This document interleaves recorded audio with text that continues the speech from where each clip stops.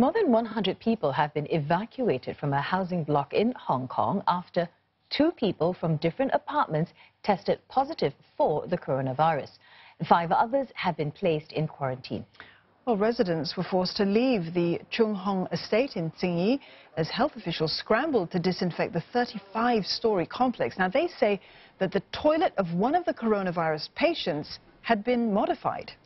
This incident brings back memories of another case during the SARS outbreak in 2003 when 42 deaths came from just one housing block where about 300 people were infected. Well, in that incident, the virus was found to have spread through faulty drainage pipes. In this case, authorities say they are still not sure what the method of transmission was.